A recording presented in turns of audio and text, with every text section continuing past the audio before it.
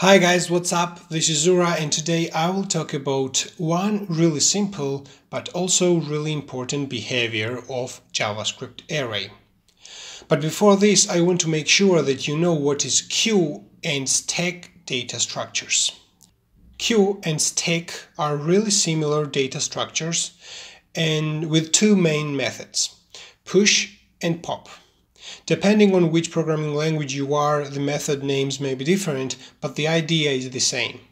You push the element and you take it out. The difference is that when you use queue, the first inserted element will be taken out as the first one, and last inserted element will be taken out as the last one. This sometimes refers as uh, FIFO, first in, first out.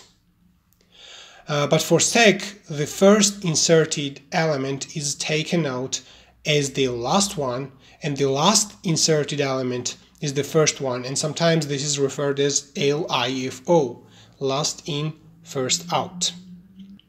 Let's see how we can use normal array as queue or stack in JavaScript. Look at the following example. We are creating a normal array on line 2. Then we are pushing three elements in this array on line 3, 4 and 5.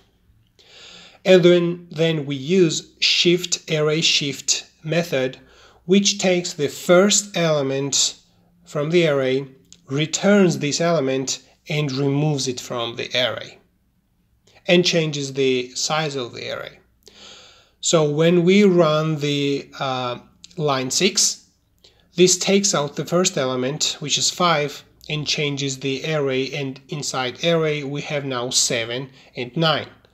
When the line 7 is executed it takes out the 7 and now array has only 9 there and when the line 8 is executed it returns 9 and the array becomes empty. This is an example how you can use normal array as a queue data structure. What about stack? Here, instead of shift method, we are using pop method, array prototype pop method, which takes out the last element from the array and changes the size of the array. When the line 6 is executed, lastly added element 9 will be returned and will also be removed from the array. When line 7 is executed, 7 will be removed from the array and only 5 will be in the array and when line 8 is executed, 5 will also be removed from the array. Queue and stack data structures are really often used in graphs. For example, stack is used in DFS algorithm, depth first search, which is for traversing um, graph or tree. And queue data structure is used for BFS, breadth first search, which is also for traversing um, graph or tree, but BFS and DFS has one really important uh, difference.